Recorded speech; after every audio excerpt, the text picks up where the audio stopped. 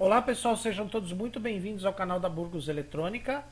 No vídeo, aqui é o Luiz Carlos Burgos falando outra vez com vocês e no vídeo de hoje nós vamos dar continuidade à nossa série sobre dinossauros da eletrônica, que são aqueles componentes obsoletos que ou não existem mais ou se ainda existem numa quantidade muito menor do que tinha na época que eles eram populares.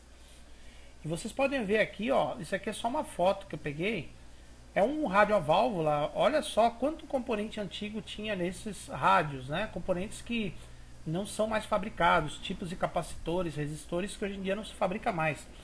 Mas eu mostrando essa foto aqui para vocês, eu vou comentar rapidamente sobre alguns métodos e testes que os técnicos bem lá dos anos 50, 60 chegaram a utilizar eh, nos equipamentos eletrônicos devido ao preço dos instrumentos de medição serem absurdamente altos. Nos anos 50, 60, você comprar um multímetro era um absurdo de caro, era muito caro. Um gerador de sinais, um osciloscópio, então, nossa, tinha que ser uma, uma assistência técnica já com um poder aquisitivo, já com uma boa quantidade de clientes, ou seja, eram extremamente caros os instrumentos naquela época.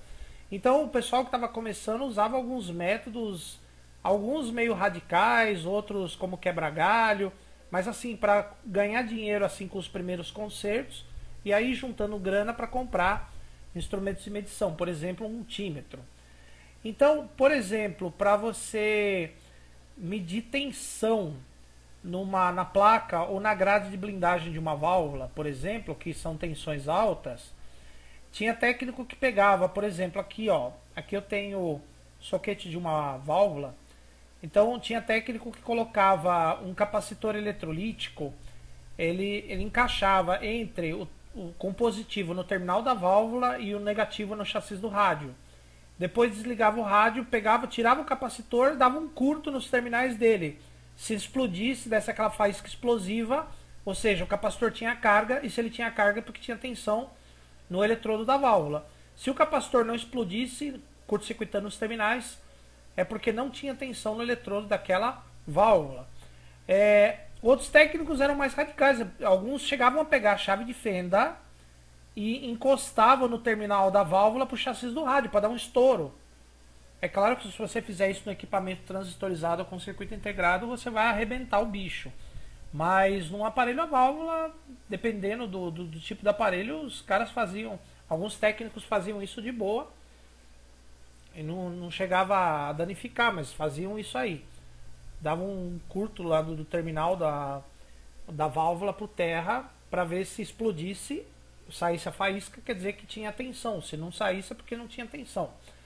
Outros usavam a lâmpada aí de 220 volts por 40 watts, que os rádios eles trabalhavam, as válvulas trabalhavam com a tensão aí de 200, 220, 230, 250 volts então eles utilizavam uma, uma lâmpada dessas e ligavam do terminal da, do terminal da válvula para o terra se acendesse, porque tinha tensão no eletrodo da válvula, senão porque não tinha. É, injeção de sinal, ou seja, você aplicar sinal no, na grade da, da válvula para ver se ou ela estava amplificando ou os circuitos para frente estavam funcionando. Então alguns técnicos pegavam um chicote da antena e davam uma chicotada aqui no, no terminal da válvula para ver se saiu um, um estouro, um estalo no alto-falante, indicando que dali para frente o circuito estava funcionando. Se não saísse o barulho é porque o circuito em algum ponto não estava funcionando. Aí tinha que ir testando estágio por estágio do rádio, começando sempre do alto-falante para trás em direção à antena. Então tinha técnico que pegava chicote de antena e dava uma chicotada no, na, na, no terminal da, uma chicotada mesmo, dá uma pancada aqui no terminal da válvula, normalmente na grade de controle. É, tem uma outra experiência que acabou substituindo essa, que é você pegar uma chave de fenda, segurar pela parte metálica, pela haste, encostar na grade da válvula. Cuidado para você encostar na grade, não encostar na, na, na placa, na grade, na, na grade de blindagem. Tem que ser na grade de controle. Porque a placa a grade de blindagem trabalham com tensão alta, levar um, um baita de um tranco. Então você pega uma chave de fenda, encosta, segura na parte metálica, encosta na grade de controle da válvula. Se sai um ruído no alto-falante, um, uma espécie de um zumbido, que no caso é a corrente elétrica captada e produzida pelo nosso corpo, amplificada pelos, pelas válvulas, até chegar no alto-falante. Dá para você fazer o teste assim também, tá? Esse é, essas eram algumas formas que os técnicos tinham para se virar na época em que era difícil e caro os instrumentos de medição. Hoje, chegou uma época que o multímetro era bem barato por causa do China, hoje já está aumentando o preço de novo. Mas sem dúvida nenhuma, hoje é bem mais acessível você comprar instrumentos de laboratório do que era nos anos 50 e 60. Beleza, pessoal?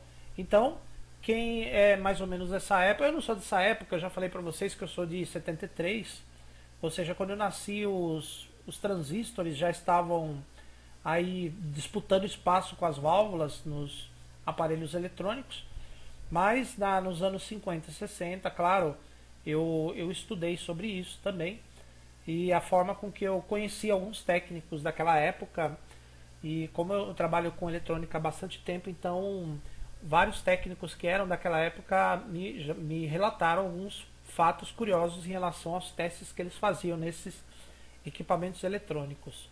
Beleza, pessoal? Então, se você gostou do vídeo, dá um like. Se você não gostou, pode dar um dislike, mas seja educado no, nos comentários inscrevam-se no canal para receberem as notificações dos próximos vídeos. Por enquanto, meu muito obrigado e até a próxima.